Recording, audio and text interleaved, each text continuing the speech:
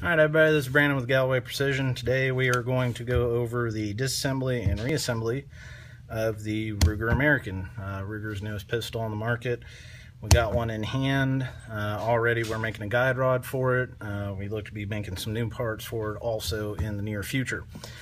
As always, first thing we're going to do is uh, make sure we've got pistols unloaded, weapon is clear, take our magazine, set it off to the side. Uh, before we get to complete teardown, one of the really ingenious things that they've done with the new American is the ability to change your grips out. Uh, your back strap, I should say. So when you get this, it'll come with two magazines and it'll come with the three different back straps. Uh, right now we have the smallest one on there. In my opinion, gives you the best grip uh, on the pistol, but it's real simple. The instructions are going to tell you to turn it clockwise, get it on.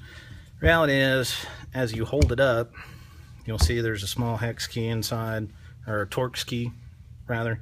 It comes with its own Torx wrench. You can turn that, and turn it quarter inch turn counterclockwise, push down,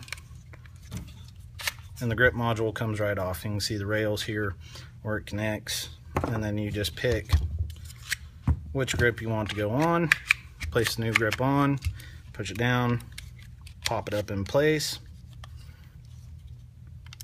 turn it one quarter turn counterclockwise. Oh, correction. One quarter turn clockwise until you feel it stop. Grip's not going to come off. And there you go. You've changed your grip. So that's the first really neat thing about this. Next thing is, if you're familiar with SIG firearms at all, SIG 226, SIG P320, any of those, the slide comes off very similar to that. So you're going to rack the slide to the rear, put your slide lock up, and here where the takedown lever is, you're going to swing that a full 90 degrees down. And right off the slide will come. Now already, as you can see, we've got our 20 pound guide rod inside. Uh, this was a prototype version, but your version will come with the captured washer on the end. It's going to come with either the option of a stainless steel screw at the end or a black screw at the end, similar to our SR9 series. So we're going to set that off to the side, slide, and uh, barrel are both made out of stainless steel. Uh, slide itself is blacked uh, stainless, whereas of course they leave the barrel just standard stainless, standard Ruger stainless barrel. Built like a tank, thing can take a lot. Uh, you can see the lockup mechanism, standard breech, standard locking breech setup. So we'll set the barrel off to the side. Now, the one thing that's a little bit different with the Ruger American as opposed to the SR series is uh, when you go to take apart the slide, take the striker out of the slide, there's no pin like the old series had. Um, and even on the new series of the SR, they didn't have an actual hole pushed out so that you could get a punch or something down in there. You just kind of had to take a pick and pry it in. The Ruger American now has, as you can see, we've got a nice little hole right there. Well, your 1 16th punch is going to fit in there just perfect. Slide it down in, push the striker forward, back plate comes right off. Take the back plate off, pull your striker out. Now you notice, that's it. There's no blocker, there's nothing else. Uh, similar to the SR, you do have your extractor pin. You can knock that out. The extractor comes off just like normal. Uh, striker is very similar to the SR series, uh, but also much more streamlined, a lot less chunky. Uh, breaks down in a similar way. You just knock out your pin here, and it comes right apart. Now I'm using my uh, bench block. If you don't have a bench block, just a vise works fine, or as Eric has used in previous videos, good roll of tape. Standard striker cross pin. All right, pull that out. Got your striker guide, which we've already, uh, the pull on this is really great. It's got a real nice light even pull, um, but just to head it off at the pass, just be on the safe side, we've already developed an increased rate striker spring. Uh, that's what's in here now, as opposed to the stock, which we have right here. You can tell ours is going to be just about a coil longer and uh, built of a different steel, a little bit stronger. Um, not to say that you'll necessarily need it. We haven't run into any light strikes, but uh, just to head it off at the pass, we went ahead and developed that. Uh, we're going to be looking at developing a um, steel or aluminum striker indicator rather than the plastic one. Plastic one's a little unique in the fact that it's got these two notches here. Um, they don't really serve a purpose. Uh, when you pull this apart, if you have questions like, oh man, they don't really do anything. They're just uh, uh, standard sleeve for capturing everything, and then very simplistic striker which uh, when we get to the innards of the pistol, you'll see where the blocker actually is. This does have a blocker, um, but it's a camming blocker rather than an actual firing pin blocker. Uh, that would normally be, or striker blocker, that would normally be in the slide. So that's it, and uh, of course reassembly is fairly simple. Slide that in, put your spring on, push it back in to the striker, making sure to line up your holes so you get everything lined up perfectly. Now what I like to do is I'll take one of my 1 16ths and I'll use it as a dummy pin. Take my roll pin, just stick it in there enough to get it going.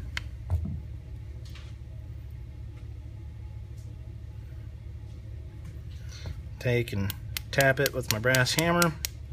Once I get it going, I pull my punch out, set it off to the side. We'll flip our block over, hammer it home, strikers back together. Make sure when you put this back in that the flat end of the striker cup faces the bottom. Slide it in, compress, stick your back plate on, just like you normally would anything else. See our back plate's in, snap it in, and that's it. Uh, the American is great. The slide is real great in the fact that it's very simplistic striker fired slide. Uh, going to put our barrel, our guide rod back in. Now we're to move on to the fun stuff. All right, we're to move on to the frame. This frame's a little odd. Uh, as you see when we break it down, you're to have your uh, trigger bar on one side, and there's actually a locking bar that helps keep tension and keeps tension on the chassis to keep it inside the grip frame module. So what you need to do, we're going to use our pick for this. Take your pick or your 1 16th and you'll see this little guy right here. Now in the manual it calls it an actuator.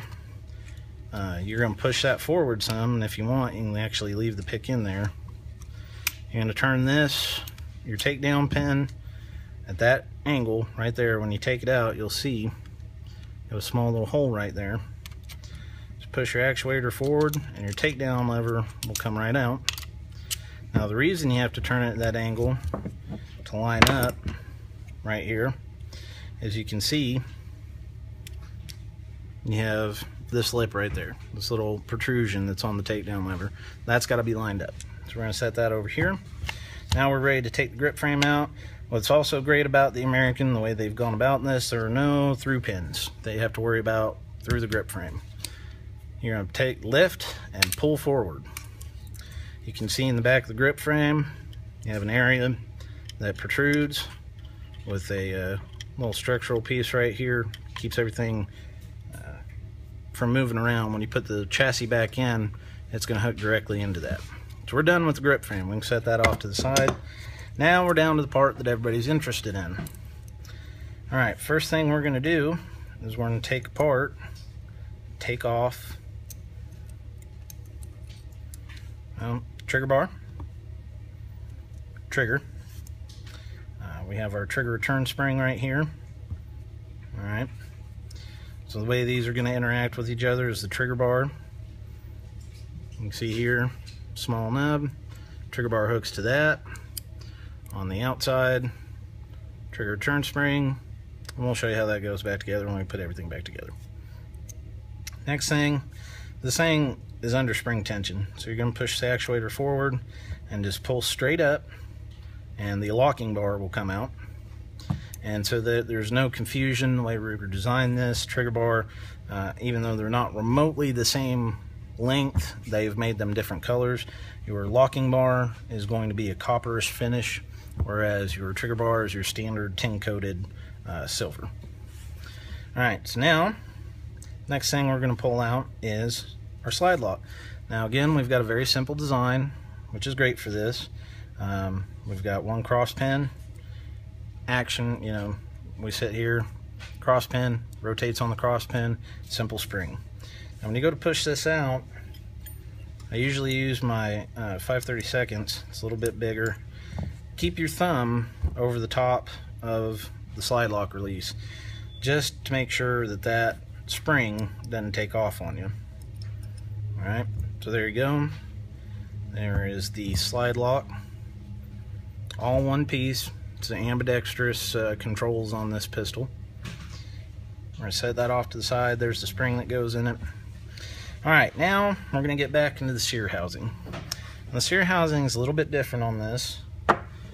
We're to need our 1 16th punch. Alright, first one you're to push out is the main main camming actions back here. This right here goes through the actual sear itself. The springs that are part of the actuator, the, the legs, or arms if you will, hook into the actuators, and the spring itself seats right here. This is what makes the sear go up and down. Uh, you do have another spring under here that keeps tension on the blocker, but is strictly for the blocker. Without this little spring, nothing's gonna work. Sear doesn't work, nothing works. So we're gonna go ahead and pop that out.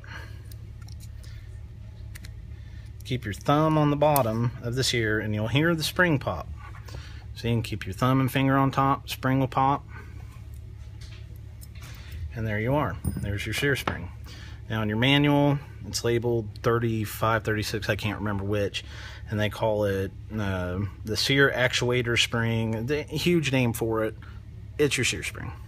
Set that off to the side. Now you notice as soon as I did that, everything got floppy. But you still have three other pins holding everything in place. So the next pin we're going to take out is one right here in the top. Goes through the blocker. You want to get the actuators up because all of these have cutouts in them so that you can actually see how it moves around on there. Push the this actuator back it's going to open up the hole. Take your 1 16th punch, push it through. Your sear is going to pop out. Now keep in mind there's another spring that goes actually down inside the sear that's for the blocker. This is your blocker spring. Uh, all this spring is for, it serves no actual purpose for the sear. Um, it's essentially a sear return spring, but mostly what it does is you can see the cutout in the grip frame where that spring seats. That makes sure that there's proper tension and pressure on the entire chassis so that it seats properly inside. Because the sear spring will actually spring it back on its own. So we're going to set that off to the side. Alright, we have both our pins out now. Now, as soon as you pull this pin out, the actuators are going to come out as well as the blocker. Now here's, when we go to reassemble, this is your blocker. So the way this is interacting, here's your blocker. It's just grabbing right there on the striker. So what's going to happen when it goes to shoot, this cams out of the way, releases the striker forward, slide comes back, this is cammed up, grabs it, cocks it, it's ready to go. So that's how the blocker in the Ruger American works. It's camming blocker. Uh, it's not an actual blocker in the design. It's actually a pretty brilliant design, very simple, very effective. So we're going to set the blocker off to the side. Now here we have our two actuators. Um, both of them, as you see, you have the hooks. But this one actually has a protrusion. This is actually the actuator that the trigger bar hooks to that actually fires everything. Uh, if you put this, it's impossible the way they have the chassis cut, but if somehow you manage to put these in backwards, nothing's going to work. But this is your actual sear actuator, and this is your locking cam actuator. This locks everything in place. You can see they've gone to a lot of trouble um, in the castings of these. Got lots of little holes and openings, and each one of these, with the exception of right here, where the hook is, uh, gets locked in place. But the way that the action works as you fire, the entire both actuators, the entire cam system, moves back and forth. So it was actually a pretty smart design on their part. Plus, if you see inside, if you look down in here, you can see a lip. And you can see on this side where there's an enlargement. So what happens is when you put the pin back through, it goes in there, and as this slides forward, it locks everything in place and won't allow side-to-side -side movement. Uh, takes a lot of the slop out of the uh, sear housing and actually makes for a very nice trigger. All right, last thing we're going to take out are our last two pins, and that's going to be the pin for the ejector. Very simple, straightforward, uh, very Glock-like. Um, this is part we may look at in the future, but as right now, we have no further plans on it. Um, everybody's been asking us so far what the numbers mean honestly, I don't know yet. Uh, this is the first one we've gotten our hands on. Uh, they only released a thousand of them before SHOT Show. Uh, SHOT Show was just over January 22nd, and they should start shipping to more and more uh, gun dealers here very shortly. So there's your ejector. That was our last pin. Our very last pin we're going to pop out is going to pop out the secondary sear. Now this is also acting as your sear return. As you can see, see where the wear is, where the sear catches. It's a two-stage sear. First stage is here. Second stage is fired. So you can see how the sear interacts. You have your secondary sear return uh, that keeps, this is the camming action that makes everything, without this piece, again, just like your sear spring, without this cam working, nothing in the pistol works. So very important piece to put back together. So those are all our pieces laid out. And here we have the completely stripped chassis. Um, from the looks of it, this is a MIM chassis. Uh, doesn't look to be uh, milled. Looks to be uh, MIM injected and then machine finished. But it's very solid. It's a good, solid, hard chassis. There's no flex to it. You don't have to worry about, okay, you know, it's Ruger's newest gun, you know, going to have any of the same issues as the SR series did when it first came out. I would venture to say it's not going to have the issues that the SR series had when it first came out. Uh, this is much sturdier design. Um, but also, while it looks complicated, it's very simplistic, which is great because that adds to the function of the weapon, makes it function a whole lot better when there's a lot less going on. So now we're going to put it back together. First thing we're going to do is put our secondary sear back in. And when you put it in, you're going to have this small square piece facing forward. The spring is going to lay against the inside of the frame. I'm going to slide that on down in there. Now this is where it gets a little tricky with this little guy. Because I told you you're going to have to come in from the upside, underside of it, the way it sits. Now when you put it in, it's going to sit basically the way it needs to. This pin is the one you're going to use. You know it's the correct pin because you'll see a small hole in the end. It's going to look like a roll pin from the opposite side, but it's not a roll pin. This is a solid steel pin. I'm going to slide that in. You'll know you're completely seated when you're flush on the left side and you have the roll pin look piece sticking out the right. All right, next piece we're going to put in is the ejector. Now this is where the bigger opening on some of these parts is going to come into play. Uh, when you go to first put this in, do not line up both holes immediately. You want to make it a little offset. And the one that goes in here it's going to be this pin. It's got two wide turn downs on either end. And then you have the three cuts in the middle. Uh, they actually serve no purpose other than aesthetics. You're going to slide it in. Make sure that it seats. Now, once you have that all the way in, you want to be careful not to push it all the way through because what you need to do, push that backwards. Now once you push the ejector backwards, pin can't move. It's locked in place. All right, so the next thing we're gonna do is we are going to put our actuators in. I'm going to start with the trigger bar actuator. Now, as you can see, when you go to put these in, the actuators actually line up and interact with the first sear drop, or the secondary sear as I call it. All right, we're going to put our left one in. This is where it gets real fun. Because not only at the same time do we got to put these in, and they go specific specific direction as well. But we also are going to be putting the blocker in at the same time.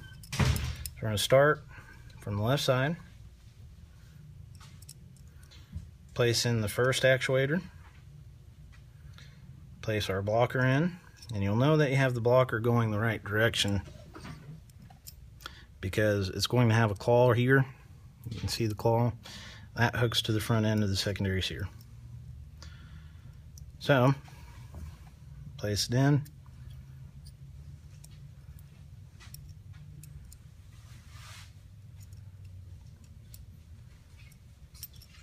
Get our bar started there. All right.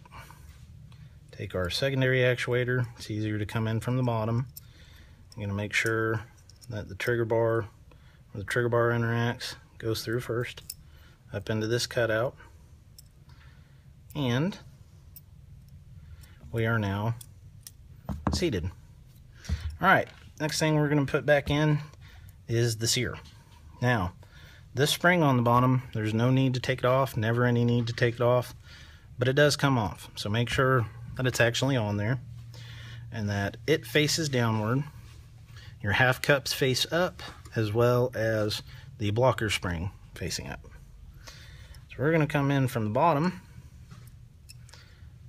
Actually, I'm jumping ahead of myself. Sorry, guys. On the bottom here, you'll see the blocker has a little, little nub right there. That is where the blocker spring is going to seat. So we're going to push it on up in there. Now comes the super fun part. We're going to take our last rod you gotta make sure that your actuators line up, everything's lined up. I'm gonna start it, and at the same time you're holding this, what I have found to be the easiest way to reinstall the sear spring is while you're holding the sear and the actuators, which sometimes might get a little out of line, but you can pretty much hold it with your index finger. It's not that much spring tension. You're going to put that in, making sure that the arms are in the actuators. Line it all up, push our pin home, we're all together. Now, the easiest way I have found, rather than trying to bend the arms up, because while this is the sear spring and it can take a lot of pressure, if you try and bend these arms up from the bottom, like you would say an AK trigger or a uh, AR trigger or any, any other wound spring like this, it bends very easily. So I take my 5 32nds, line it up, and I push forward, which can be a little tricky. You can see it's wanting to pop off. But just push it down and it'll pop into place where you need it. And it may take a couple times. But you'll hear it pop. You can see that it has popped underneath the back push it over, make sure everything's centered. I like to take my pick, make sure everything is centered the way it should be. And we now have our sear housing back together. Now, next thing we're going to need to put on is the trigger, trigger bar, trigger return spring. And the trigger has actually got a couple different angles so that it'll only go in one way. You can't just drop this thing in. You can see the cutout in the frame. So what I like to do is I like to take the trigger, get it kind of in there. I take my trigger bar, seat it on the nub, get that in. The last thing I do is put on the trigger return spring. Once I get the trigger return spring on, I like to take my pick. I'm holding my thumb over the spring so it doesn't pop off. I just take my pick and I wind it down, which can be a little tricky because this is a very stout return spring. and it will seat right underneath the trigger bar right there. Now, you can see we're good. It's in place. You can see the blocker move. You can see the sear drop.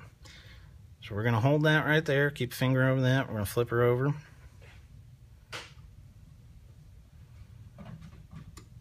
Put the actuator locking rod in. All right, we've got those. Now, what we're going to do is we're going to take and put together, reinstall the slide lock and the spring. Now, the only problem that you're going to have here that I found is this spring does not want to compress exactly the way you want it. So what I do is I take and I put this in first. Take and put the spring on the nub. I'll take my small flathead screwdriver I'll compress the spring. Oh, and we lost it.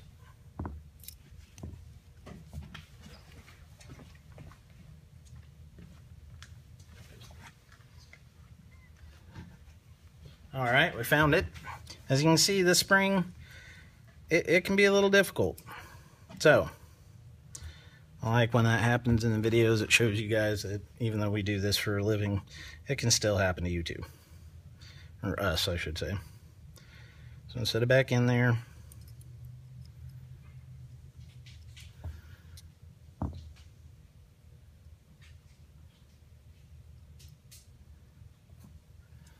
Compress. Come on.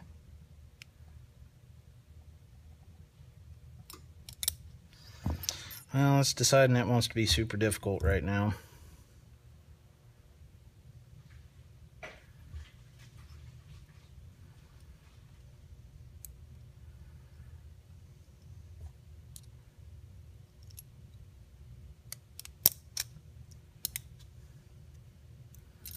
Maybe we need to figure out a way to, if your trigger bar pops off, it's no big deal. I'll go ahead and get the trigger out of the way too. It's easier to hold it this way.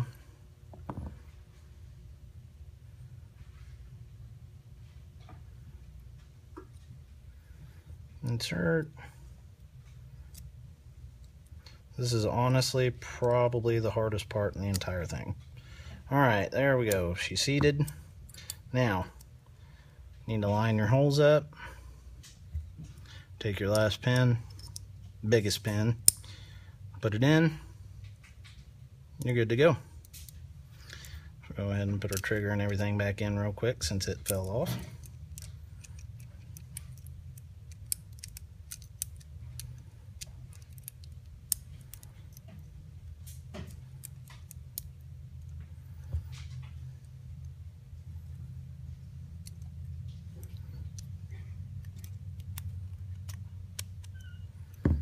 All right, now we're ready to put our chassis back in our frame. So we'll take our frame.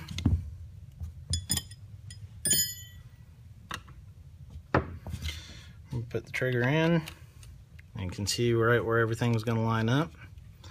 Push the chassis down and back. It's in. We'll go to put in our takedown lever. Now in order to get the lever to go back, you're gonna have to push this actuator forward lever drops.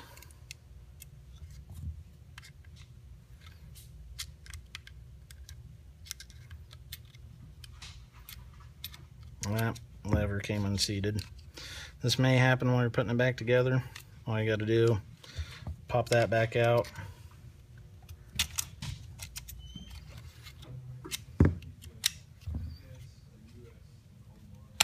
Once that comes out, sometimes it'll do that. You can see how it's got some play to it.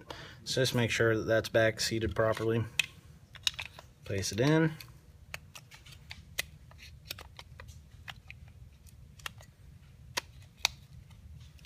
Back.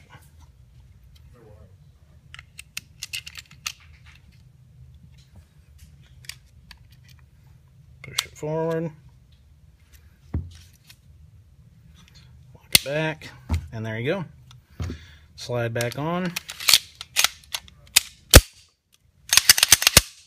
All right, making sure it's empty. We're gonna do the function check now. Pull the trigger, hold it, rack it. Should hear the click, pull, everything's good. And that, all of you in YouTube land, is the Ruger American. Uh, like I said, we've already got the increased rate striker spring and the guide rod coming to market. Uh, be on the lookout on our website and Amazon uh, for those parts over the next few weeks. Uh, be sure to subscribe to our YouTube page. Uh, follow us on Twitter, Facebook, Pinterest. Uh, pretty much anywhere you can find us, we're going to be there. as always, stay safe, stay accurate, and God bless.